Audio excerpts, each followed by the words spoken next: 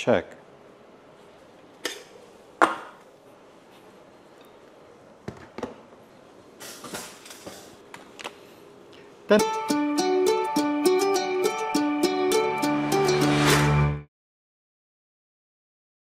During my visit in GenSan, I've met new friends along the way. And one of those actually became a finalist of the Philippine Coffee Brewer League. That is Sir James.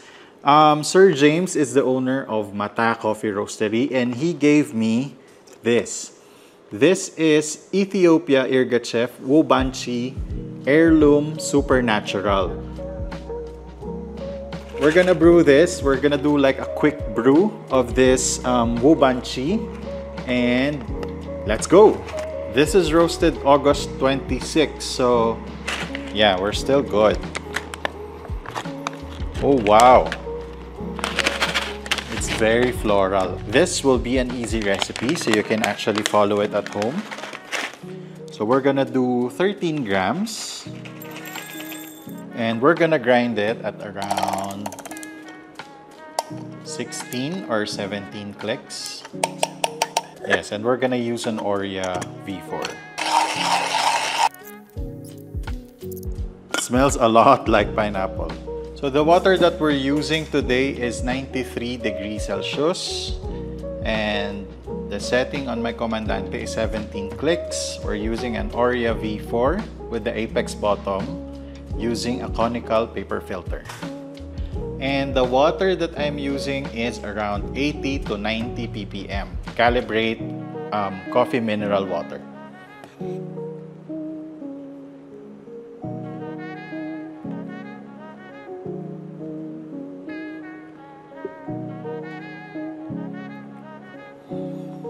Wow.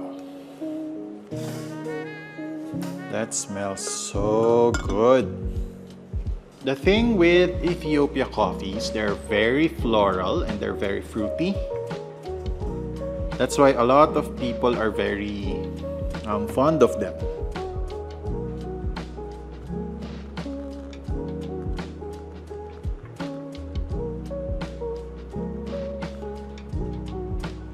So for the first pour, I did 30 ml. And then for my second pour, I'm going up to 100 ml. Just pour normally and in circular pattern. Then after your second pour, you shake the bed. Um, you can also do this in your um, V60 using all the same parameters. Okay, and then on the third pour, we're gonna do up to 150 ml.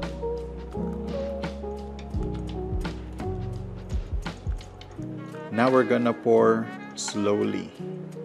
And at this point, try not to disturb the bed as much. And then at 2 minutes, we're gonna pour the last 50 ml.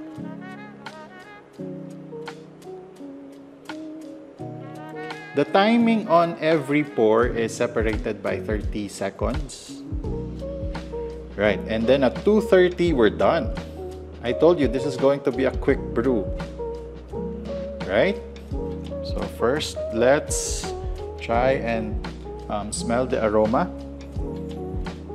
It's so fruity, no?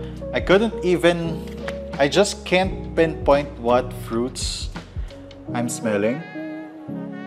But with the dry aroma, it's a lot like pineapple.